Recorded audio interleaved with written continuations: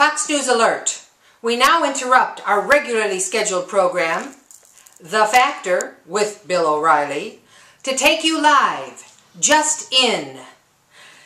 Jimmy Buffett and his coral reefers on their westward ho in pursuit of happiness tour were hijacked by the Highland Park hooligans and forced to land his plane on the sandy beaches of Lake Michigan. We go now live to the beach.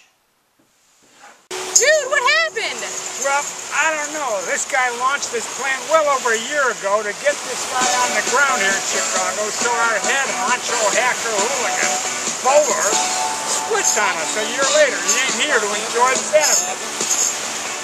Where is he now? Colorado, where else would he be? Took off, he split. Mountain, sunshine, What what a he has. Sea, and the beach. And we got Jimmy Buffett here on the beach, and he does it. Party on!